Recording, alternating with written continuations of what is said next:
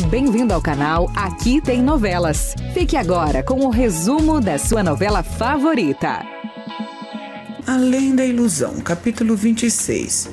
Olivia reclama de Joaquim para Benê. Bento decide se alistar para cuidar de Lorenzo.